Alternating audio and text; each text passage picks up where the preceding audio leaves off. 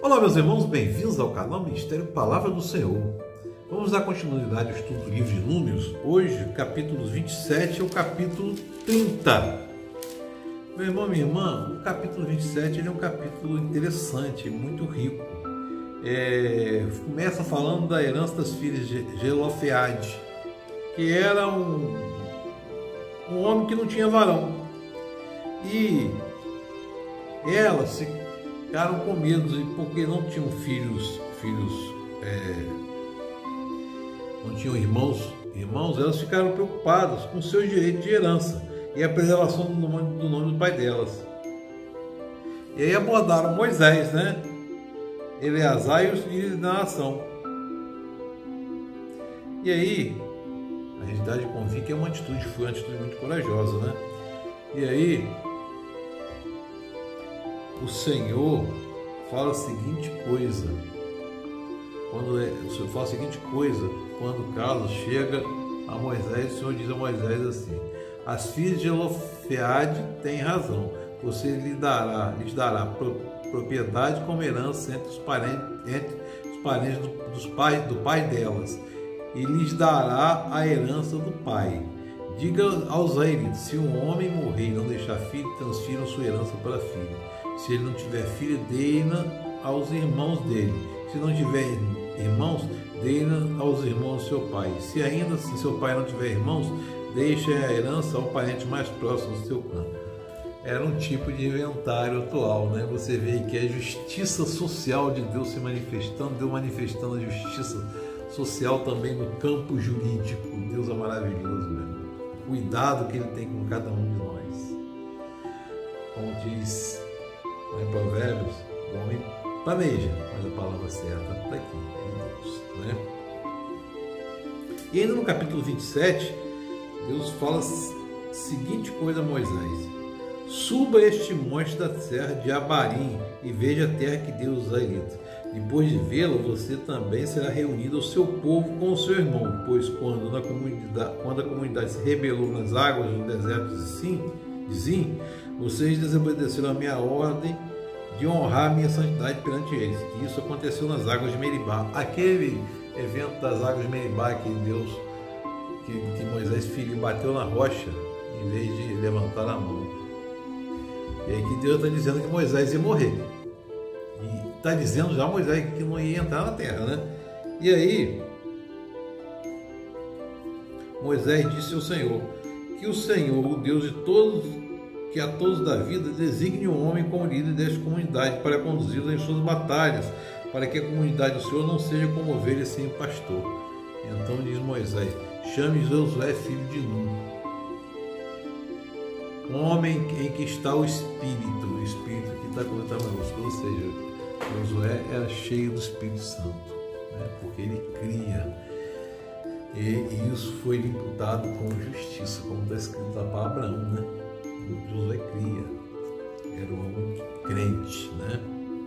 Faça-o apresentar-se ao sacerdote Eleazar e a toda a comunidade e o comissione na presença dele, deles. Aqui Deus já está comissionando Josué para ser líder, né? Tanto que depois do Pentateuco vem o livro de quem?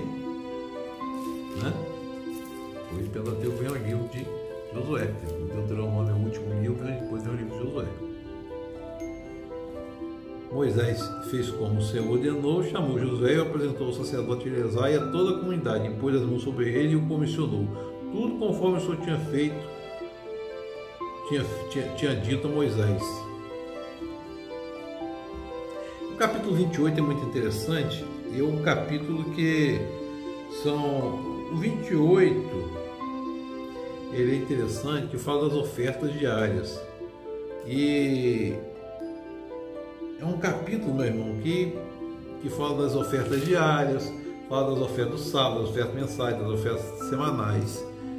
E o capítulo 29 fala da festa das trombetas, né? Que Israel tem muitas festas, né? o povo israelita tem um povo muito festejo, festeiro aqui, né? tinha muitas festas. Sempre para honrar o nome do Senhor, as festas são sempre para honrar o nome do Senhor. Interessante que da gente observar, que você vai observar esses, esses dois capítulos, vocês vão conhecer, vão, dar, vão saber da abrangência total, da abrangência total, o sacrifício na vida do povo da enormidade da tarefa dos sacerdotes. Era uma tarefa imensa. É por isso que os levitas não tinham herança de terra também. Para se dedicarem única e exclusivamente aos cuidados das, do Senhor, às coisas do, do tabernáculo. Porque afinal Deus tabernaculou no meio do povo, Ele estava no meio do povo. Né? E é sempre o melhor fala oferta preparada no fogo, é cordeiros com anos sem, sem defeito, um, com holocausto diário, um pela manhã ou cair da tarde, uma oferta cereal, sempre da melhor farinha. Para Deus é sempre o melhor de tudo. Hoje ainda é sempre o melhor de tudo, o melhor do nosso coração. Embora nós sejamos pessoas pecadoras, falhas, mas busquemos sempre o processo de santificação. Por isso que Davi era chamado homem segundo o coração de Deus, cheio de pecados, cheio de falha, mas em busca sempre da santificação. Né? A oferta das trombetas, a oferta das trombetas, no que ocorria no primeiro dia do sétimo mês. Convocava a assembleia e não faziam trabalho nenhum. Neste dia vocês tocarão as trombetas como aroma agradável ao Senhor Ofereçam um sacrifício de um novilho, um carneiro e sete cordeiros de um ano de idade todo sem defeito. A oferta da, da expiação, meu irmão e irmã. E no capítulo 30 fala da regulamentação dos votos. Os votos, a palavra empenhada era uma coisa muito, deve ser ainda uma coisa muito séria. É, como, como fala, é o o pessoal tinha o bigode grosso, cumpria a palavra. Né? Moisés disse, assim, disse ao chefe das tribos de Israel: Isto é o que o Senhor ordena. Quando o homem fizer um voto ao Senhor ou juramento, ou obrigar algum compromisso, não poderá quebrar sua palavra, mas terá que cumprir tudo o que disse. Então, não pronunciar o nome do Senhor em vão, ou qualquer coisa, ou jurar em, em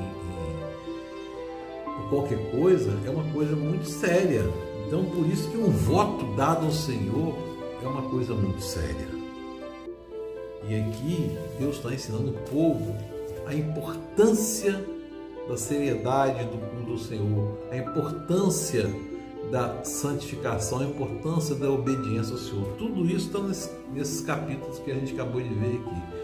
Que o Espírito Santo de Deus esteja sobre nós, nos confortando, nos consolando, nos abençoando e nos fazendo entender a mensagem e seguimos sempre cumprindo a palavra do Senhor e fazendo aquilo que Jesus falou: Sede santo, porque eu sou santo. Busquemos sempre a santificação. Deus os abençoe. Amém.